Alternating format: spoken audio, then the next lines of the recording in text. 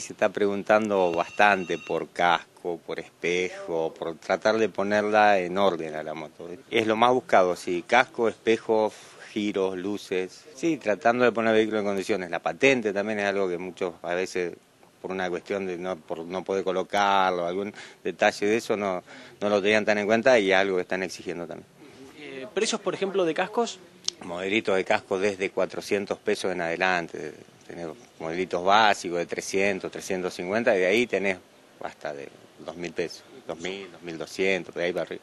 ¿Qué hay que tener en cuenta a la hora de elegir un buen casco? En primer lugar, que te quede bien, que no te quede flojo el casco, ¿viste? Que quede firme y que el casco sea, en primer lugar, homologado, por supuesto, y después que te quede firme, que tenga, que esté construido con buen material, ¿viste? El precio va levantando la calidad también del casco.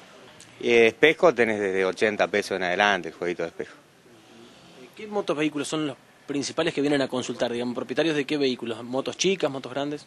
Y motos de mediana cilindrada, que es la que más hay en la calle, es la que más anda circulando y es la que por ahí está más expuesta a romperse por caída, por golpe. Y como comerciante del rubro, ¿qué opinión sobre los controles?